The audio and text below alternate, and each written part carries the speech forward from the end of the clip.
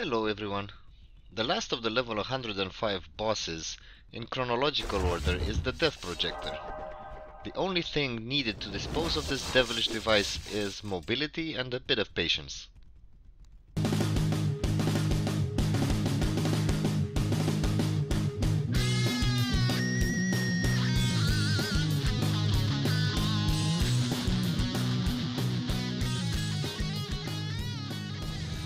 The Death Projector can be found in Act 3, in the Proving Grounds, in the third level of the Swampy Pit dungeon.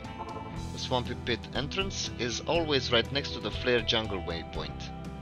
Navigate the levels of the Swampy Pit, but be aware that the Proving Grounds have a 20 second lockdown, so it is quite important to have a fully healed and equipped character before entering the arena. The reward is a charm called Laser Focus Crystal. It gives a flat 10% bonus to life and mana, and an extra experience gained bonus. A welcome upgrade for any character.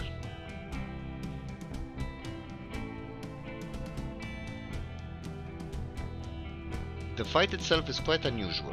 The Death Projector is a stationary turret that fires an energy beam in circles around itself. The beam deals a very high amount of damage, annihilating any players caught in its path.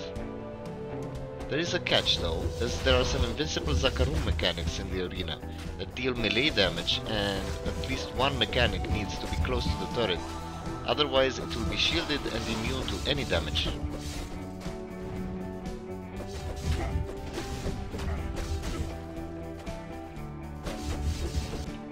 If too many mechanics prove to be a problem, some can be kited away from the death projector that only one or two remain close to disable the shield.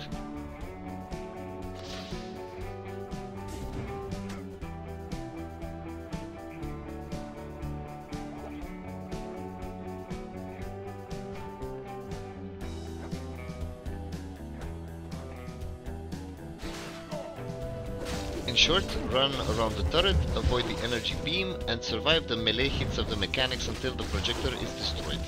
After the boss is defeated, be aware that the beam is emitting will linger for a little while longer, so try not to get killed while picking up the reward.